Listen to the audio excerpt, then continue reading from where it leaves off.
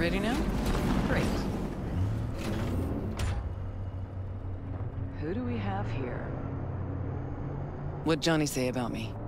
No, you two talk all the time.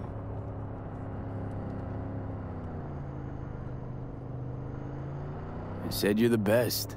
Always were. The best. Too bad that comes at a price.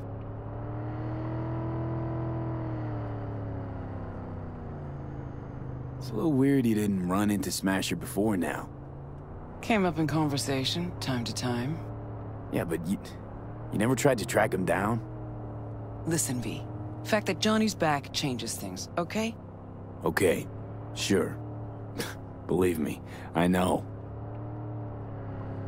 You sure you're up for this? What? You getting cold feet?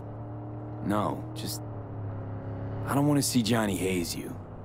Adam Smasher's his obsession, not yours. Think so? Just trying to play fair.